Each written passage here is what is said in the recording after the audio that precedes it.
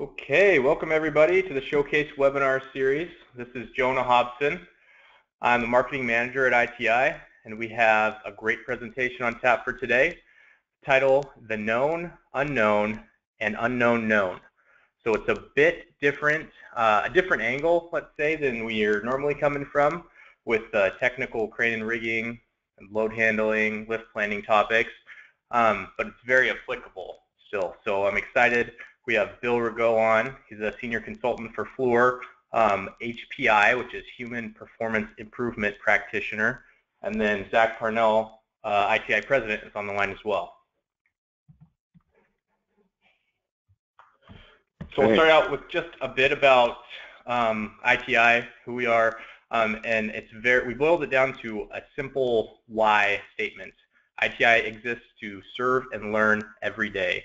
On the screen there you can see some of the companies we've been fortunate enough to work with um, and the globe because really our, our, instructors and consultants have been all over the globe uh, spreading the ITI way. We want to thank our sponsor for this webinar series, Lifting Gear Hire. They rent a lot of the equipment that your companies need. I believe we have a few Lifting Gear Hire folks on the line.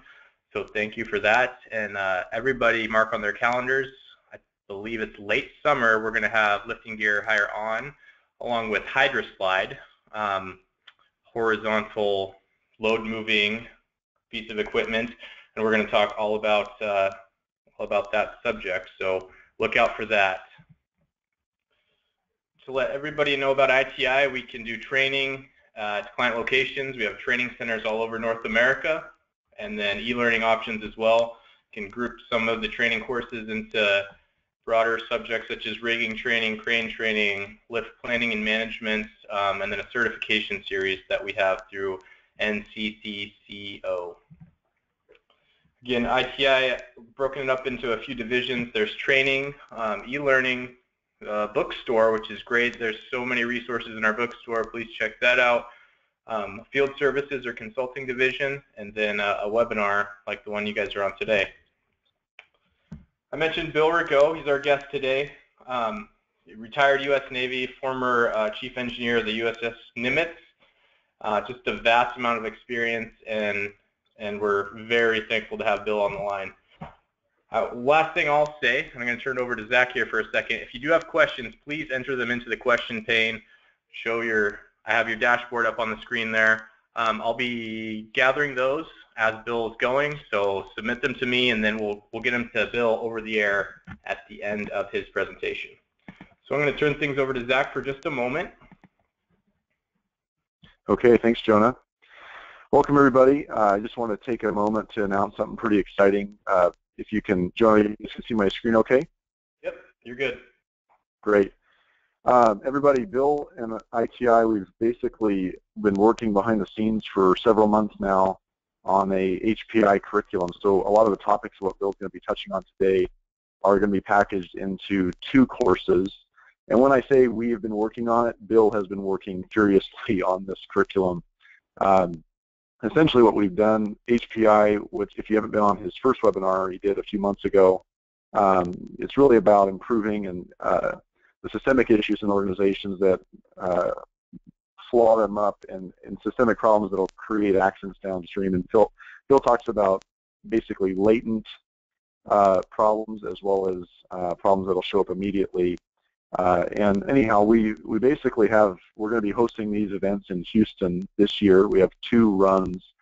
of, we call them bundles. So there's a two-day course called a Human Performance Improvement Workshop and another uh, one-day course on HPI accident investigation. So like I mentioned, I think the uh, first dates are going to be scheduled in, uh, you can find them on our calendar actually, but in September. So September 6th and uh, September 8th would be the true courses there. Then we'll hold them again in December. And we, Bill and I were just chatting in 2017. It'll be a lot more exciting because we'll have these spread throughout North America and host a lot more of these events. But if you're able to make any of those courses, I really would encourage it. Uh, you'll learn quite a bit about an overview today about uh, what some of the content will look like. But um, Jonah, I'll turn it back over to you so Bill can get rolling. All right, great. Thanks, Zach. I just gave the screen over to Bill. I got it. All right. Yep, we can okay, well, thank you, Bill, Zach so- and Jonah. yeah. All right. Uh, well, good morning or good afternoon, depending on where you are. My name is Bill Rigot, and it, it's a pleasure uh, to be here. I've got probably 30 minutes worth of material to talk to you about, and I want to leave plenty of time for questions. Um, and so if you listened in on the last webinar, we talked about human performance and you know how the latent things can can come back to bite you in the butt and and create situations where accidents can occur. Uh, in, this particular investigation, we're going to be looking a little bit more about the things that we know and the things that we don't know. Um, and I, I, got the idea for this uh, presentation from a fellow by the name of Donald Rumsfeld, and he, he wrote a book uh, called Knowns and Unknowns. And I didn't read it, but I read the, the prologue to it. And Rumsfeld, uh, and I'll just read this, he says, uh, reports that say something hasn't happened are always interesting to me because we know there are known knowns, there are things that we know we know. We also know there are known unknowns, and that is to say that we know there are some things that we know that we do not know. But there are also unknown unknowns, the ones we don't know we don't know. And if one looks throughout the history of our country and other free countries, it is the latter category that tends to be the difficult one. And so th that's how he kicks off the book. And Rumsfeld's perspective on knowns and unknowns is he focused eh, during the course of his, his very public life to try to know as much as he could about any particular subject to reduce the universe of the unknowns. But he never forgot that there were always things that he didn't know, and he would work with the staff to, to try to winnow that down.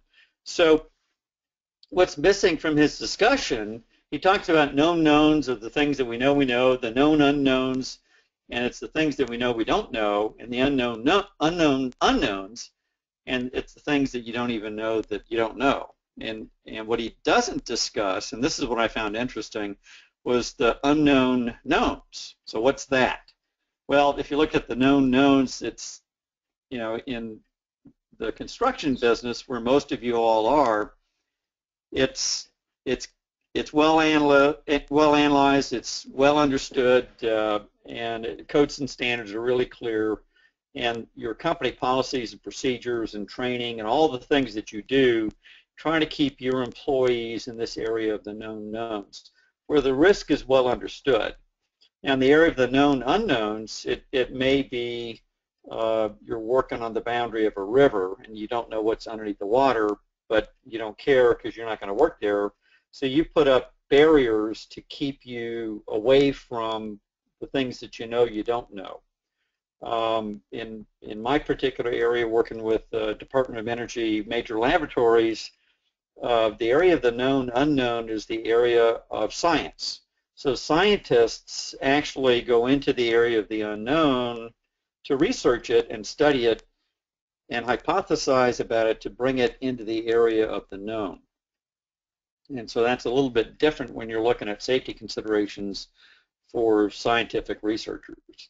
Well, in the area of the unknown unknowns, uh, there's an author by the name of uh, Nassim Taleb who wrote a book called The Black Swan, which I would commend to you because the area of the unknown unknown is the black swan area as he defines it and he, he says that these events are rare, they're unpredictable, and they're extremely consequential.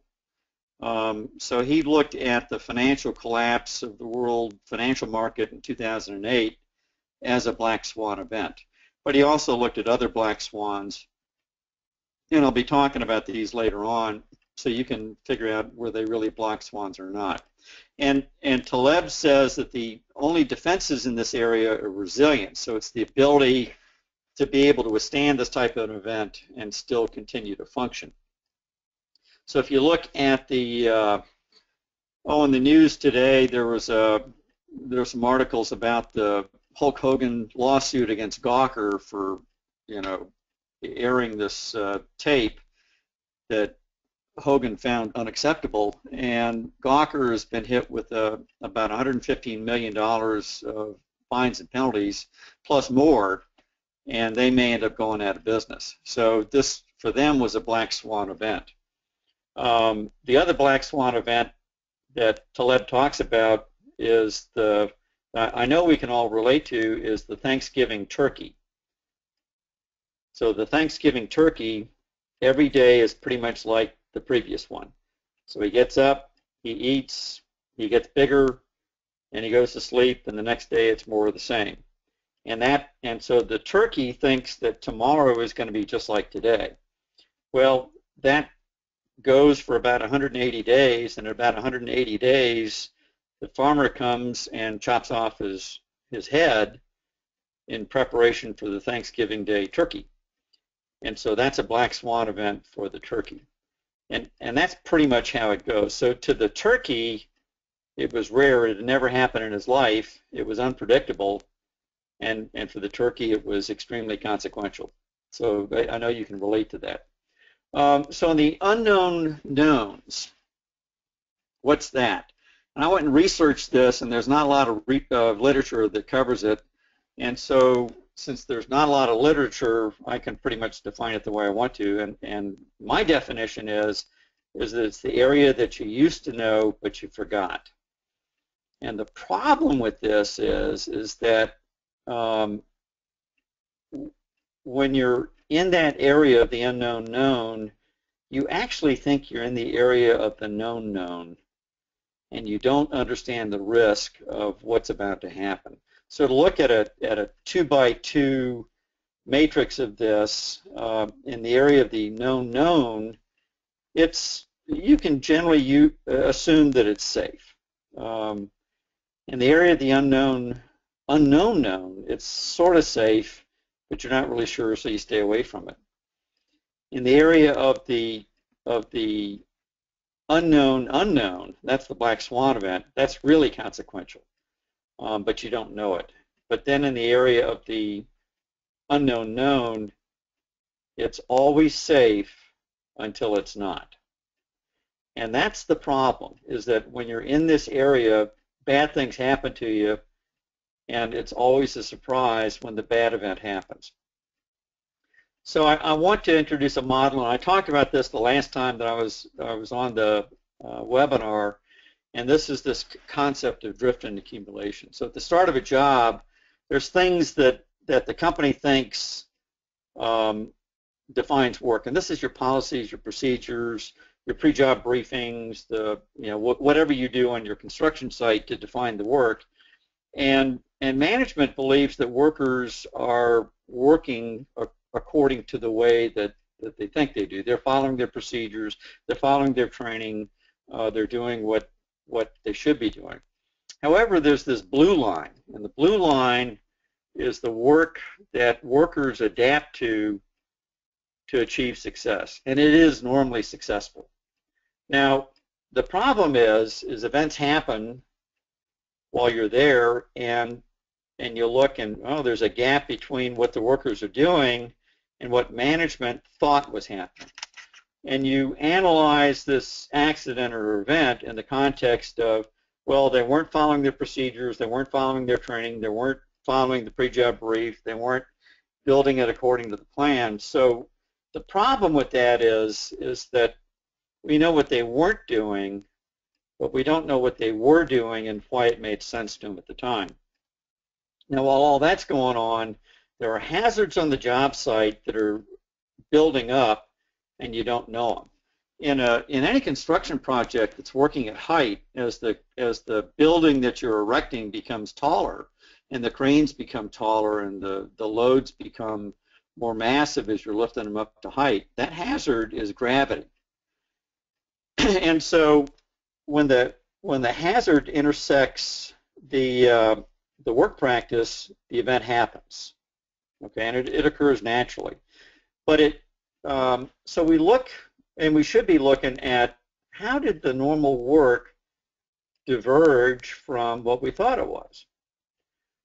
And then the final thought I want to leave you with is is the only thing that you can manage is that gap between the hazard that's building up and the work as it's actually taking place. And that's where you need to learn what that is and how to manage it. And that's where we're going to end up at the end of this presentation. So let's start with Fukushima Daiichi. So Fukushima Daiichi is a multi-reactor nuclear power plant. Uh, it's on the eastern coast of, uh, of Japan, and it's a couple hundred meter uh, kilometers away from Tokyo. And uh, they uh, so they had this earthquake, and it uh, uh, created this huge tsunami. In addition to the earthquake, and this is what happened to Fukushima. They they had major damage to most of their reactors, and uh, they did achieve meltdown in a couple of them. Uh, they had some issues with fuel, spent nuclear fuel that was heating up in their spent fuel pools. And this was a reactor plant that the Japanese government very nearly abandoned uh, because the dose rates were so high. And it was endangering workers who needed to be there to pour water on it uh, to keep what was left of the reactors cooled down. So this is a major, major uh, reactor casualty. And it was, if you look at Three Mile Island, uh, where one reactor had a partial meltdown, and Chernobyl, where you had a, a, a reactor that had a full meltdown and an explosion, this was somewhere in between, but it was closer to Chernobyl than it was to Three Mile Island. So it was pretty bad. So what happened? Well, they had a an earthquake that was a 9 on the Richter scale and a tsunami that was about 11 meters high. And the I won't get into all the technical details, but it, it caused core damage to three of the reactors and, and pretty extensive damage to the rest of them. And the, all these nuclear reactors are licensed by their version of the NRC, and their NRC said that um, we're going to establish the license basis as an 8 on the Richter scale earthquake and an 8 meter high tsunami. So that's what they analyzed for, that's what they licensed to, that's how that was that's what defined their safety posture for the reactor. And that's how they built the reactor. Um, but at that time, so 40 years after the license was established, um, Japanese seismologists were monitoring a fault line off the coast, the eastern coast of Japan, and they believed that a thousand-year earthquake was about to occur. And in fact, that's exactly what happened. So the their prediction was that it was going to be somewhere in the order of a, a nine Richter scale earthquake, and and they understood what the outcome of that was in terms of, of a tsunami. So you had some seismologists that were, you know, over in one place that were seeing this coming, and you had engineers in this nuclear power plant, and you also had licensing engineers with their version of the NRC that didn't see this. So how come? You know, and, and we know that the how come was was that they weren't communicating because they didn't have to. And, and so they forgot the basis for their license and they didn't think that they needed to go back and check the bases uh, to see if their if what they were doing was still valid. So if you look on this drift and accumulation um, model, um, you can see that at, at the start of the tsunami and earthquake, this line represents their license with the NRC. Uh, the reality is, is that over time, uh, TEPCO, who was the owner of the Fukushima Daiichi plant, uh, had diverged more and more from what the NRC licensing had based on um, everything that, that their NRC said relative to, to uh, seismic controls and tsunami controls. TEPCO kept coming up with scientific um, studies that suggested that they needed to do nothing. So they were working farther and farther away from the, the NRC basis than they thought. Um, and, and, they were very successful. In fact, the, the TEPCO plants were the most efficient nuclear power plants in Japan, and they, they made the most money in generating power of uh, any uh, power utility in Japan. So they were very successful. Um, and so when the event happened, they naturally looked at and, and blamed TEPCO for resisting all the improvements that their version of the NRC suggested. But while all this was happening, the hazard that was building up was there was a, a shifting of the seismic plates uh, off the coast of Japan to that was unrelieved, um, and it's it's relieved by a, a, huge shift, which then generates these earthquakes and tsunamis. So the seismologists saw the hazard, but they didn't connect the dots to connect them to potential harm to nuclear power plants that were situated along the coast. And Fukushima was, was right on the coast. Um, so the event happened. Uh, the the investigations looked at the departure from the NRC license on the behalf of TEPCO, but they also figured out that TEPCO wasn't managing the gap and they weren't learning from it. Um, so I I listened to a, a lecture from a, a member of the National Academy of Engineering and a member of the National Academy of Science, a fellow by the name of Naj Meshkati, and he teaches at University of uh, California at Berkeley uh, in engineering, and he went over to study Fukushima um, after the event, and and what he discovered, um, you know, he, he learned all the things that we know today, but he went and looked at other nuclear power plants that were closer to the earthquake and didn't have the damage that Fukushima Daiichi had. And one of the plants he looked at was the Onagawa reactor that was owned by a, uh, the utility was called Tohoku.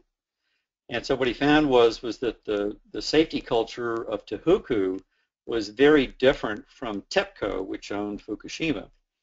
And, and he looked back to decisions that were made 40 years ago and the differences in those decisions that lay dormant for many, many years until they were challenged by this earthquake.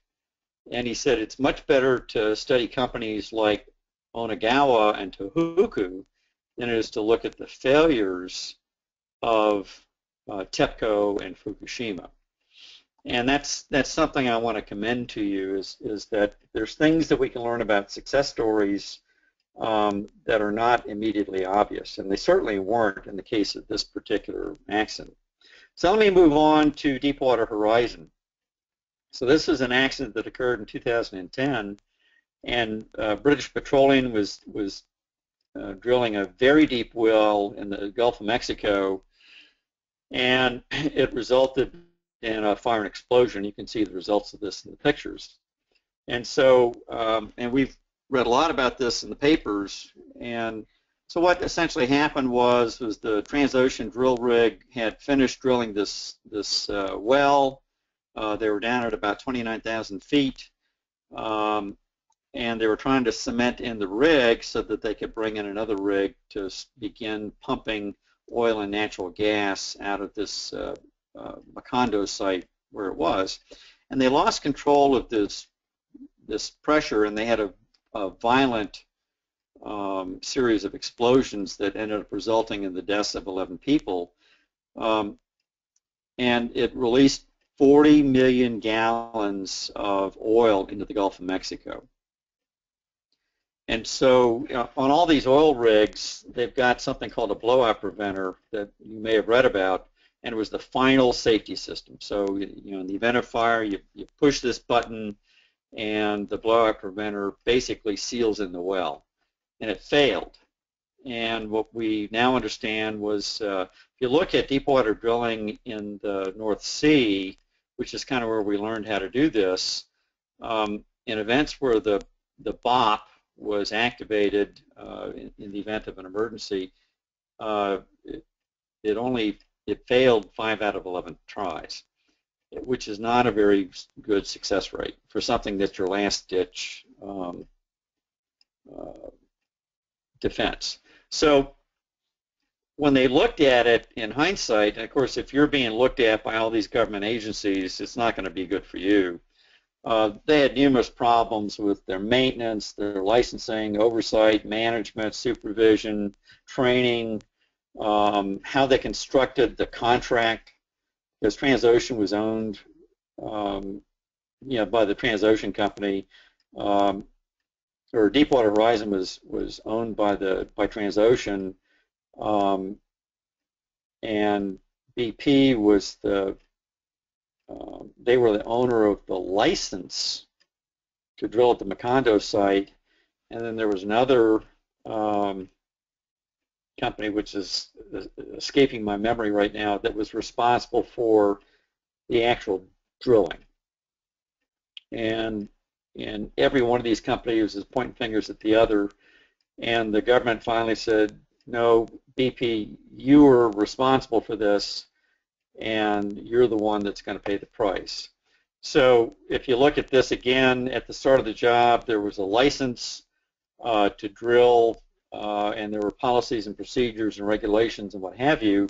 And what they found was on that blue line, uh, British Petroleum was departing farther and farther away from their license basis uh, than the regulator had initially understood. And they were very successful. British Petroleum is a very profitable and successful uh, oil and gas uh, company. So when you look at the event uh, in the context, it looked really bad for BP, and it was.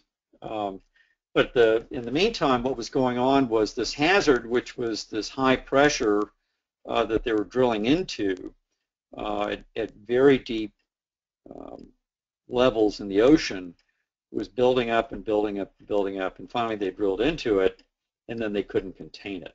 And so where the hazard met the work practice, the event occurred. So the investigation looked a lot at the normal work, but in terms of of learning about this uh, accident, BP wasn't operating the rig the way that the government thought they were, and in fact, the workers on the scene were not operating the rig the way that BP thought they were.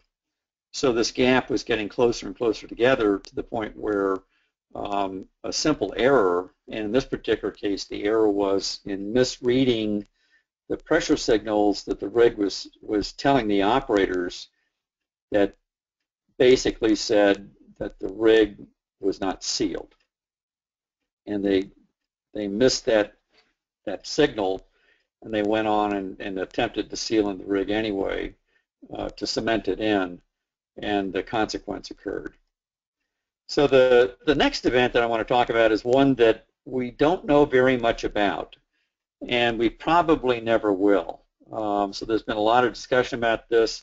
This is the crane collapse at Mecca uh, in September of last year, and the you had a, a pretty big crawler crane. It was a Liebherr crane that in the middle of this huge windstorm and sandstorm that came blowing up out of the Gulf, uh, tipped over backwards and fell onto the Grand Mosque in Mecca, uh, virtually over the, you know, this cube that's in the center of the mosque. Um, and so the the crane was a, a, a huge crane. I, am not familiar with this particular model, but it was a Liebherr crane. Had a large main boom, had a derrick mast and a luffing jib, that and and the everything extended 200 meters high. Um, it was at the time of the accident, it was stowed with the mast uh, virtually vertical um, and unloaded, and it had been there for some time. It was, it, in fact, it was rarely used. Uh, and when it tipped over, it resulted in 111 deaths and 300 plus people were injured. Uh, what was notable about this was that uh, the Bin Laden Construction Company, um, yeah, and it's that's the name that's associated with with Osama. He's from that family. They were uh, in charge of that particular crane. So they had rented it from another company, but they were responsible for using it. Um, and Bin Laden was one of the largest construction companies in Saudi Arabia. They're one of the best. They make a lot of money. And in order to do work in Mecca, you've got to be pretty well vetted in order to, to do that type of work. Well, they, they did an accident investigation, and the accident investigation determined that the accident was the fault of heavy winds and negligence on the part of bin Laden uh, due to improper stowage of the crane. Now, when you look at that, what was going on at that time? Well, it occurred two weeks before the Hajj, which is the a major pilgrimage. So every every Muslim uh, in the modern world is expected to make a pilgrimage to Mecca once in their lifetime. So you, there are millions and millions of people that, that show up in Mecca during the time of the Hajj. Um, and as you might imagine, this is a, a, prime time for the Saudi government to show off to all these pilgrims that are coming in from all over the world. Uh, so they're set up to do this. And um, when you, let me go back to the pictures, you can see an awful lot of cranes that were up all around this mosque at the time. So there, it was a major construction site. And then you can see down here at the bottom of the picture, these are pilgrims that are entering the mosque. And so there were co-location issues, and there were thousands of people in the mosque at the time of the accident.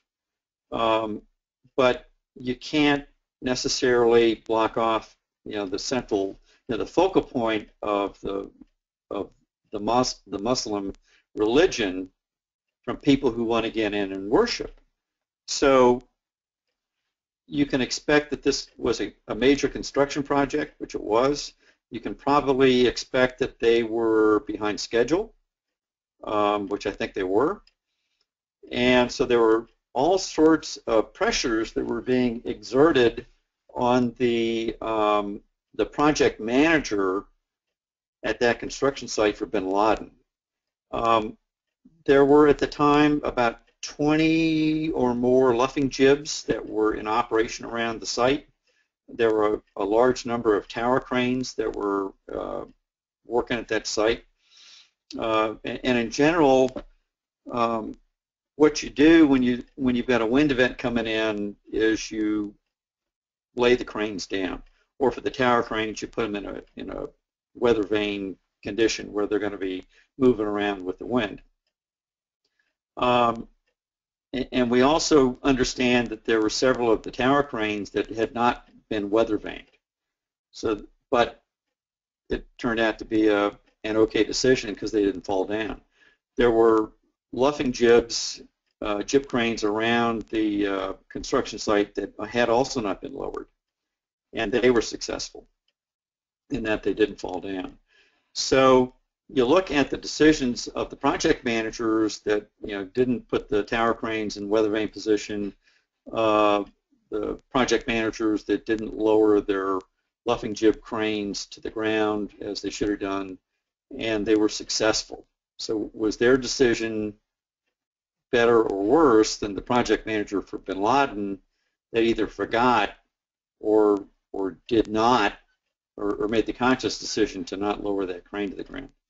Because when you do that, that's going to take time, it's going to take money, it's going to take effort, all of which um, in, in, that resource-limited environment, uh, the project manager for Bin Laden may have thought that he didn't have. Um, but it, it, resulted in a major embarrassment, both for Bin Laden, who's now been banned from uh, doing construction work in Saudi Arabia, and the company officers have been prohibited from uh, leaving the country until the, the king can figure out what to do with them. So th this is a, uh, a major event, but was it predictable? Um, so if you look again at, at this particular um, model, you know, at the start of this job, you had construction that was going on, you had a schedule, you had a project, um, you had rules that they had to follow, uh, but we, we can see not only for this crane, but for a bunch of other cranes in the area, they were departing from what normal protocols for crane operations would be. And they were successful, um, except for the fact that they may or may not have been behind schedule or over budget. Um, so if you look at the accident that, that occurred, um, you look at, at Bin Laden, and they did not lower the crane as they should have done, um, and they had a bad event. Um, but at the time, they had hazards that came up. Um, one of the things that was going on was that the laydown yard was absolutely chock-a-block. So even if bin Laden made the decision to lower that crane, it was so big and the laydown yard was so crowded, it it's reasonable that they may not have had time to get that boom down before the winds came. And when these winds come up, it's it's unpredictable, and they uh, it, it's hard to do something about it before they're on you. Um, so the hazard was the winds, and and the event happened, and it was extremely consequential because the winds were stronger than they thought. The sand was coming up, and that was the time of year that sandstorms do come up. And they had a large number of pilgrims in the mosque at the time of the event. Had this occurred at night, it would not have had the consequence that it did. Um, so we, we studied the, you know, what was going on. Uh, you look at the departure from what the government thought was going on, and that's what led to their finding of negligence on the part of, of bin Laden. But at the time of the event, the construction manager or the project manager for that project uh, made a decision that had probably been successful for him many many times before, and and may have, except for all the variables.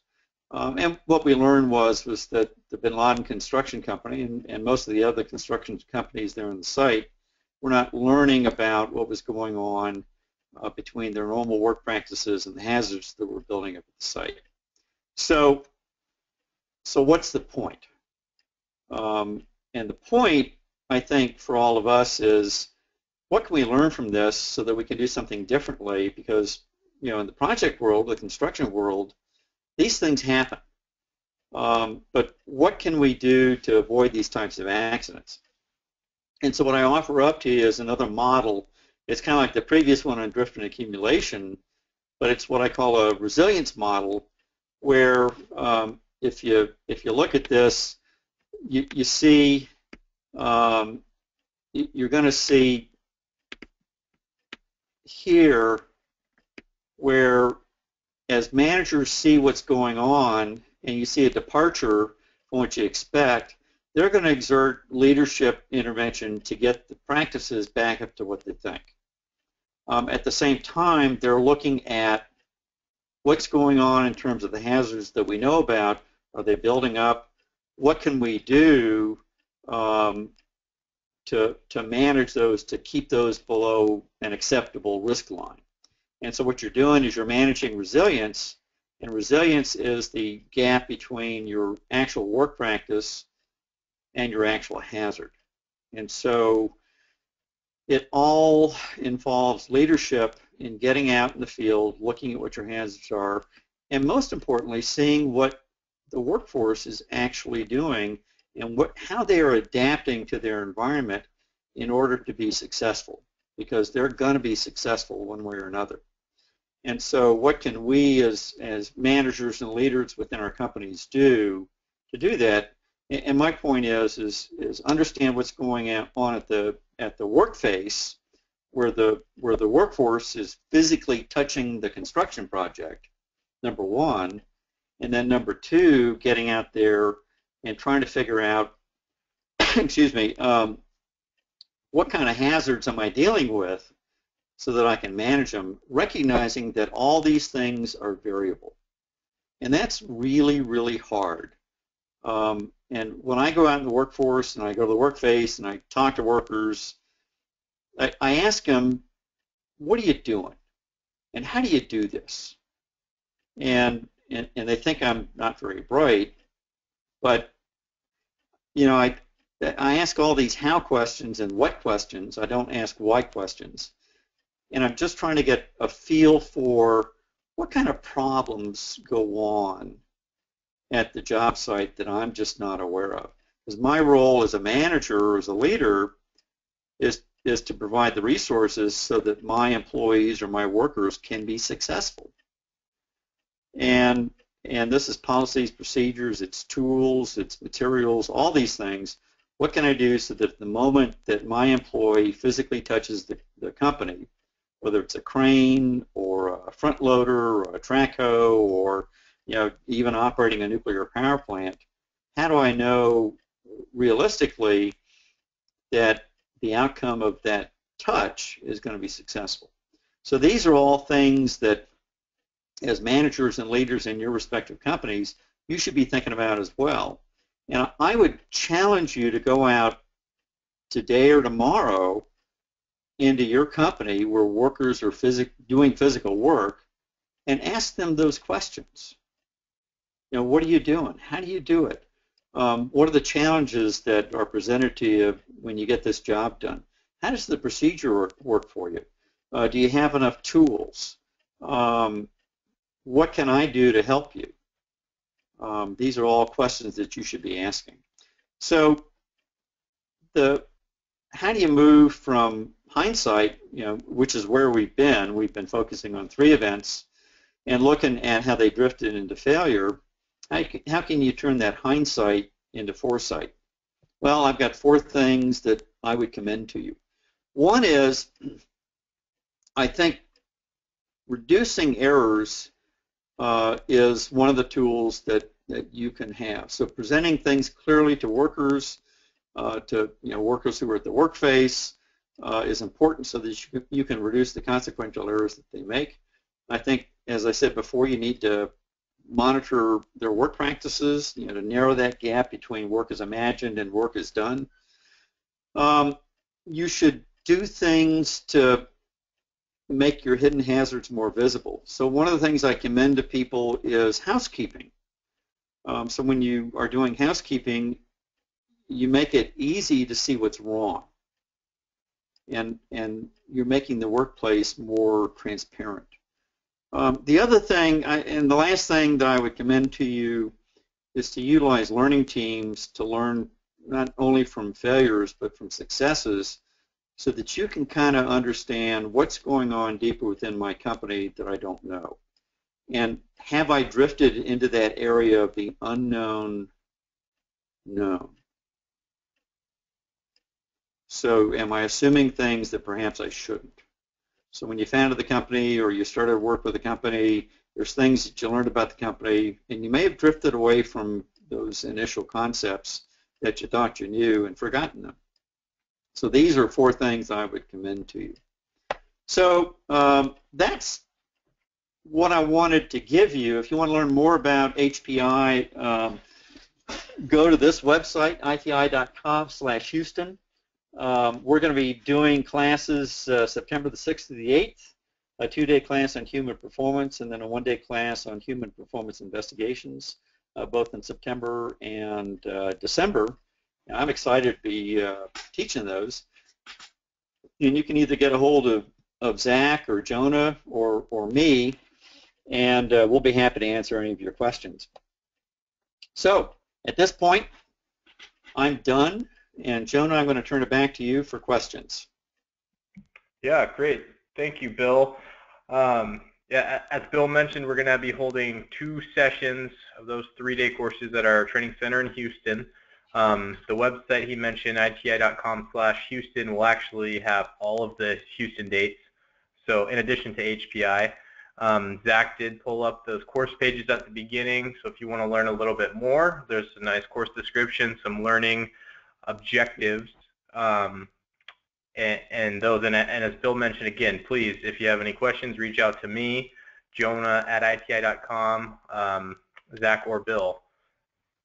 So I, I'm not seeing any questions right now. A couple came in, but um, they kind of answered their own question, or, or, it was something that you uncovered later in the in the program, Bill. So okay. um, I'll leave it open a, a bit longer. But uh, unless something comes in in the next couple minutes here, then uh, we can sign off. Let me take control of the screen back very briefly, just for folks who are um, who are with us right now, just to, to mention the next webinar coming up. Um, we will have the global head of safety, health, environment, and quality control from Mammoet, Sheldon Redpath, on, um, and it's it's interesting. It's a bit of a pilot um, program for the the new ICAB, International Competency Assessment Board assessment when it comes to cranes and rigging. So that should be uh, should be interesting, and we're looking forward to that one. The date on that is April 6th, and registration is open for that. Um, I'm still not seeing any questions, so uh, I think with that we will wrap things up. As always, we're recording this session. We'll try to post the recording. Well, we, we will post the recording within 24 hours, so look for that. I'll send a link to the recording to everybody who is on the line now and those who registered but weren't able to make it live. So uh, I, lastly, I want to thank Bill one more time. Uh, I can speak for all of ITI, I think, pretty safely on this and saying, Bill, it's great to work with you um, on projects like this webinar as well as the courses coming up. And yeah, we're, we're looking forward to that. It's something, as I said, it's a different angle than the uh, really technical meat and potatoes that you're used to from us, but it is very applicable to every kind of crane, rigging, load handling, lift planning um, situation that we find ourselves in regularly on the job. So thank you again, Bill. Thank you guys for attending today. Um, I hope you enjoy the rest of the week. Yeah, yeah, no, thank you. Um, and again, if you have any questions about this webinar, um, anything ITI related, please reach out to me via email, jonah, J-O-N-A-H, at iti.com. Thanks again, everybody, and uh, we'll catch you next time.